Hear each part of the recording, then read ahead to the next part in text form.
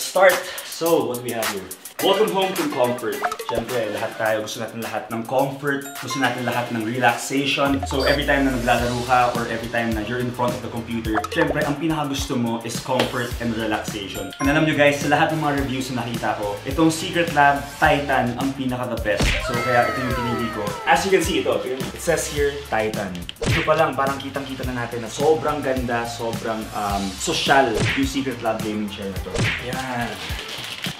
Ito nga pala guys yung bagong baby ko. So, papakalala ko lang sa inyo ang aking Secret Lab.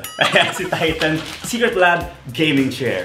Mwah! Mamaya ka na. Papakita natin muna yung uh, ibang parte ng katawan mo. Kasi ito guys, may kasama rin siyang placemat o kaya ano, uh, para sa dining table nyo. Ito, magandang kainan to. So, syempre, eh, ang laki-laki ng placemat. Pwede nyo hatiin, pwede nyo i-fold, pwede siyang maging napkin. O, oh, diba? Solid yan. Next naman, ito. So, yan. O, oh, diba? May kasama pang star. As we all know, ito yung magiging uh, legs ng upuan. So, dito natin ikakabit yung mga gulong. Tapos dito, ikakabit yung mismong, yung connector sa body ng upuan. O, oh, diba? May extra placemat pa. Tatlo na kayong pwedeng kumain sa dining table nyo. So, next, ito naman. Ooh, ito medyo mas mabigat to, guys. Ito yung uupuan mo. At syempre, ito yung hawak ko dito, ito yung armrest. Sa mga nabasa ko dito sa reviews ng Secret Lab, yung armrest na to, ito yung pinaganda nila. Ito yung in-upgrade nila. So, yun, I'm so excited to see it later.